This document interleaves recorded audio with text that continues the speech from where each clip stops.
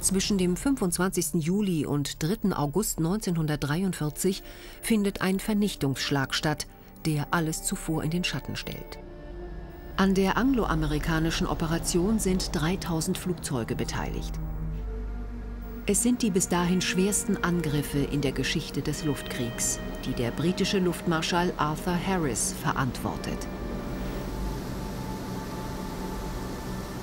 Der Ausbau der Flak konnte ab 1943 nur durch den massiven Einsatz von Hitlerjungen erreicht werden. Auch das hilft nicht. Die Übermacht ist zu groß. Die englische Militärsprache ist um eine Vokabel reicher. Hamburgisieren. Die systematische Vernichtung einer Stadt.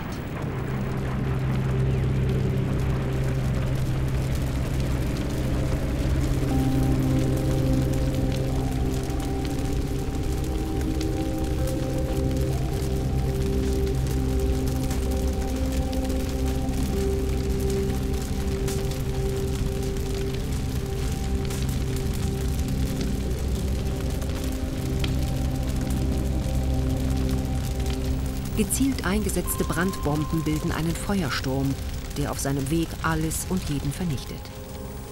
Rotenburgs Ort, Hammerbrook und Borgfelde, die Altstadt von Altona, werden fast vollständig zerstört, die anderen Bezirke schwer getroffen. Die Flugzeuge werfen Zehntausende Minen und Sprengbomben sowie drei Millionen Brandbomben. Eine Viertelmillion Wohnungen werden zerstört. Es sterben Zehntausende. 900.000 Hamburger werden obdachlos.